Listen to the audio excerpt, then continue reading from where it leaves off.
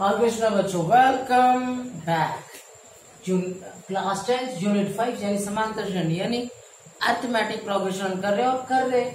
Size 5.1 5.1 का चौथा question चौथे क्वेश्चन में पंद्रह पार्ट है। और मैंने दो वीडियो में, यानी शुरू के चार पार्ट शुरू के चार पार्ट दो वीडियो और चुका हूँ। तो अब मैं यहाँ पर कवर करने जा रहा हूँ।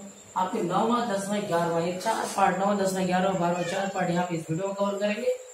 फिर वीडियो और के साथ आपका ये पूरा फाइव पॉइंट वन खत्म हो जाएगा राइट यहाँ पे हम देखते हैं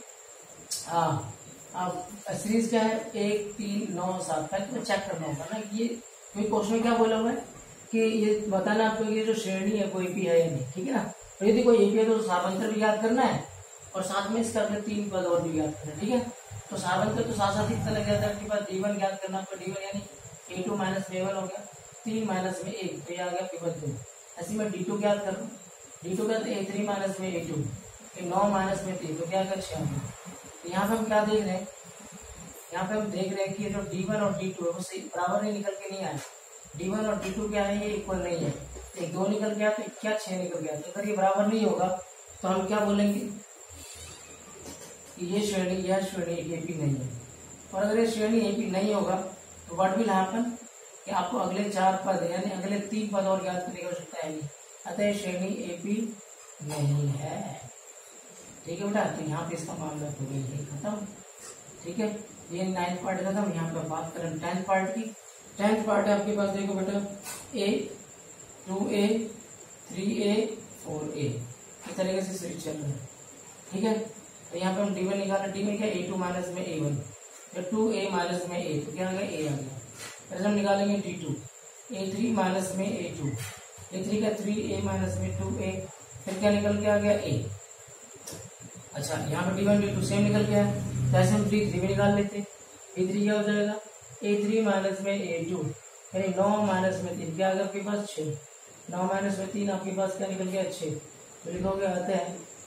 डी वन बराबर है डी टू बराबर है डी थ्री तो देखो आपके पास यहाँ पर ओ sorry sorry sorry sorry sorry अच्छा डी थ्री देखो डी वन की आपके पास ए निकला डी थ्री आपके ए निकला, और ए थ्री माइनस में ए टू ए थ्री इसको देखना मेरे को नहीं ये चल रहा है, गलती से मैंने इसको देखा। सॉरी तो आपके पास देखो डी थ्री निकाला तो four a four four a minus में आपके पास क्या जाएगा? थ्री ए तो आपके पास क्या आ बेटा? फिर से ए तो देखो, यहाँ भी ए यहाँ भी ए और यहाँ भी ए यहाँ आप लिखेंगे आप?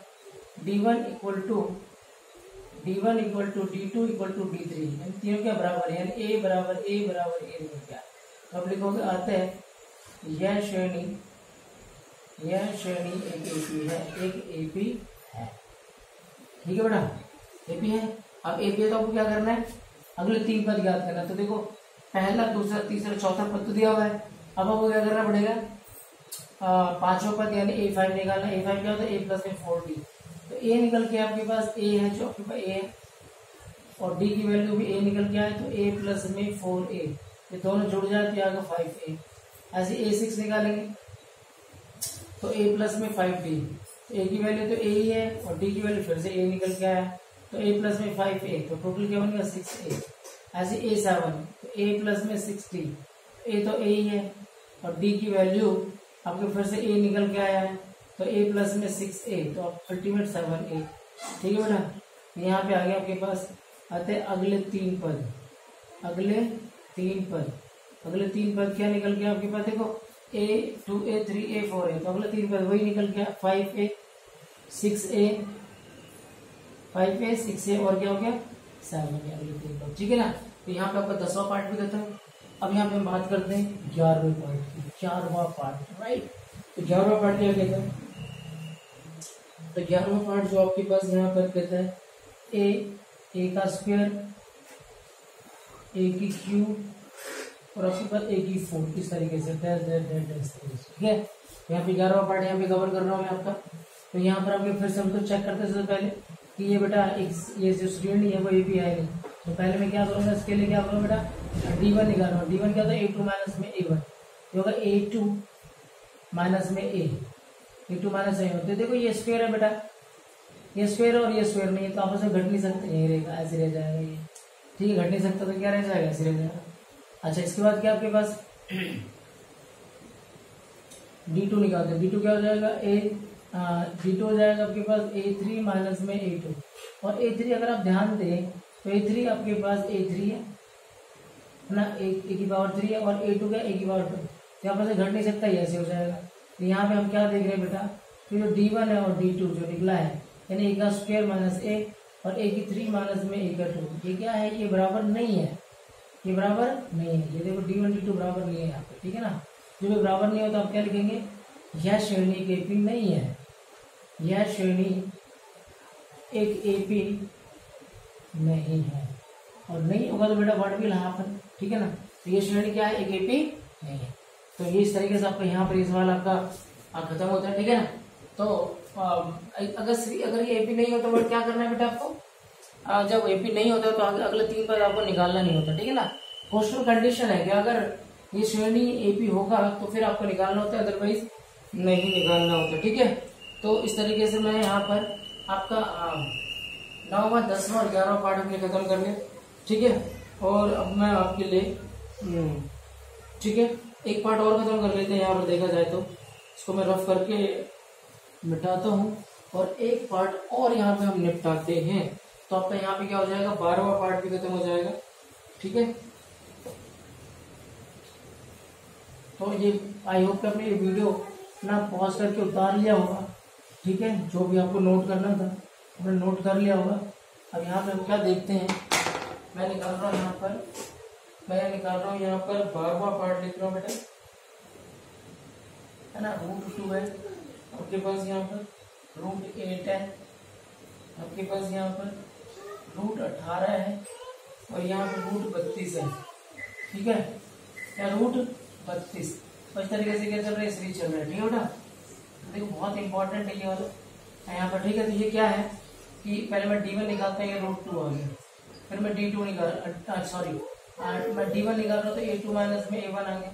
तो रूट ये रूट एट है और ये रूट दो है। तो देखा जाए तो बेटा, ध्यान से, अगर आप ध्यान से देखो तो क्या है कि आप जो इसको ना रूट एट को, देखो यहाँ रफली आपको समझना है रफली रूट एट क्या है बेटा यहाँ पर? इसको आप चार गुना दो लिख सकते हो, चार गुना दो। तो ये परफेक्ट स्क्वायर नंबर है। क्या परफेक्ट स्क्वायर नंबर है? तो चार का वर्गमूल क्या होता है? दो होता है दो बाहर आ जाएगा। और और चार परफेक्ट स्क्वायर तो दो बन के बाहर आ जाएगा इसका वर्गमूल। और रूट क्या होगा? दो के ऊपर लग जाएगा। तो दो रूट दो है। रूट आठ को हम दो रूट दो भी कहते हैं, ठीक है ना? इसको आप लिख सकते हो दो रूट दो। और माइनस में रूट दो। तो दो में से एक गया, ना रूट दो में रूट दो, घटता तो नहीं, दो और यहाँ पे तो एक होता है। तो दो में से एक गया तो रूट दो आ गया, पहली बार ठीक है? अब यहाँ पे बात करेंगे डी टू की। ड्यूटी क्या आपके पास ए टू माइनस में सॉरी ए थ्री माइनस में ए टू तो ए थ्री क्या बेटा आपके पास? ध्यान दो तो रूट अठारह है और ये क्या है? रूट आठ है। ठीक है ना? इसको आप ऐसे ले सकते हो, नौ गुना में दो, और इसको ले सकते हो, चार गुना में दो। तो ये परफेक्ट स्क्वायर नंबर है, नौ। नौ किसका वर्गमूल होता है बेटा? नौ का वर्गमूल क्या? तीन। तो तीन बाहर आ जाएगा, रूट दो ऐसे रह जाएगा। ऐसे ये परफेक्ट है तो दो बाहर आ जाएगा, दो अंदर रह जाएगा। तो यहाँ पर घटा तीन में से दो गया तो क्या बचेगा? रूट दो। ऐसे डी थ्री निकाल रहे हैं ए फोर माइनस में ए थ्री। ए फोर क्या? रूट बत्तीस। और ए थ्री क्या है आपके पास? रूट अठारह। तो देखो उसको फिर ब्रेक कर लेते हैं, सोलह दूनी बत्तीस में। यानी ऐसे ब्रेक करना है कि परफेक्ट स्क्वायर नंबर है दूसरा परफेक्ट स्क्वायर ना हो तो चलेगा, लेकिन पहला तो परफेक्ट हो कम से कम। उसको मैं तोड़ा, नौ गुना में दो, यानी नौ दुनिया अठारह। ये परफेक्ट स्क्वायर नंबर है। तो इसको सोलह का वर्गमूल क्या होता है? चार होता है। तो चार रूट दो आएगा यहाँ पे, और नौ का वर्गमूल तीन होता है तो तीन रूट दो आएगा। तो चार में से तीन गया तो वापिस से रूट दो आ गया। ठीक है? तो यहाँ पर आप क्या लिखेंगे? कि डी वन बराबर है डी टू बराबर है डी थ्री और क्या रूट टू बराबर है? रूट टू बराबर है रूट टू तो अगर बराबर आ गए तो क्या बन के आता है, ये बोल सकते हो कि यह श्रेणी एक एपी है। यह श्रेणी एक एपी है। ठीक है बेटा, अगर ये श्रेणी एपी होगा तो बट यहाँ पर हमें क्या करना पड़ेगा? अगले तीन पद ज्ञात करना है तो यानी ए फाइव ज्ञात करना है। तो a five plus a five क्या होगा? A plus a four d तो ए आपके पास वो निकल के आ रहा है, वो निकल के आ रहा है ए जो आपके पास, देखो सीरीज़ में रूट दो है। और फोर डी की वैल्यू रूट दो निकला है। तो रूट दो, ये गुना होगा तो चार रूट दो आएगा। और जब आप इसे जोड़ोगे तो एक यहाँ पे चार यहाँ पे पाँच रूट दो हो जाएगा बेटा, ठीक है ना? और पाँच रूट दो का अगर आप ध्यान रखो क्योंकि देखो आ, इसको ना वापिस से हम क्या कर सकते हैं क्योंकि पाँच पाँच बाहर कब आता है जब रूट पच्चीस रूट पाँच क्या होता है अंदर होता है ना। पच्चीस का वर्गमूल तो मैं उसको अंदर लेके गया तो पच्चीस लिखना पड़ेगा और रूट दो तो पहले से ही था तो ये क्या होगा पचास होगा। तो इस फॉर्म में क्योंकि देखो यहाँ पे ना परफेक्ट तो ब्रेक करके बाहर ही लेके दिखाया हुआ है। ऐसे हम भी क्या कर हैं जो आंसर आएगा हम उसको इस तरीके से कन्वर्ट कर दे रहे हैं ना। जिस सीरीज़ में हमें क्वेश्चन बोला गया उसी सीरीज़ में हमसे कन्वर्ट करके हम जवाब देंगे। तो ए सिक्स निकाल रहे हैं। ए सिक्स क्या है? ए प्लस में फाइव डी तो ए क्या है बेटा? रूट दो।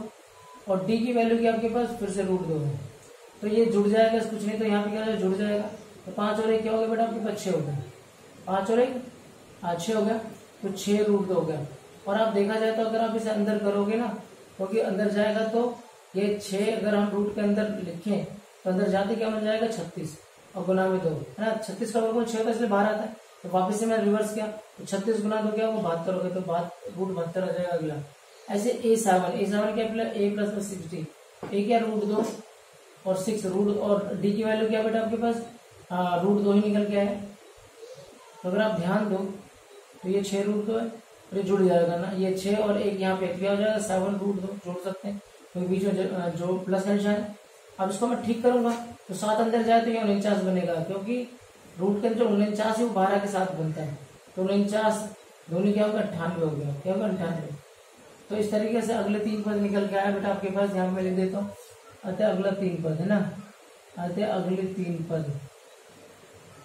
तो अगले तीन पद यहाँ पे जो निकल के आपके पास, यहाँ पर देखो, देखा जाए तो हाँ पहला निकला है रूट पचास, ठीक है? फिर निकला है रूट बहत्तर और अगला निकला है रूट अट्ठानवे।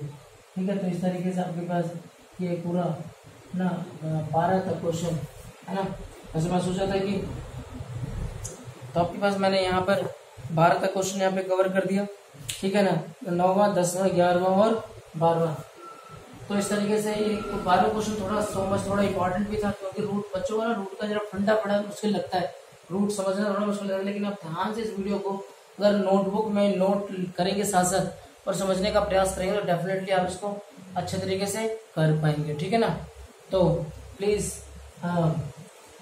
आई होप कि आपको वीडियो अच्छा भी लगा होगा, ठीक है? तो क्या करना है? यस इस वीडियो को अधिक से अधिक बच्चों को शेयर करो और इस चैनल के साथ आपको क्या करना है? बने रहना। अगर इस चैनल के साथ अब नए हो तो प्लीज़ ना सब्सक्राइब की जो बटन है, उसको बेल आइकन को दबा दो, ताकि आप इस चैनल को सब्सक्राइब कर पाए और सब्सक्राइब जब करेंगे तो आपको फ़ायदा क्या होगा? जैसे मेरा अगला वीडियो अपलोड होगा तो आपको मिल जाएगा नोटिफिकेशन ठीक है बेटा?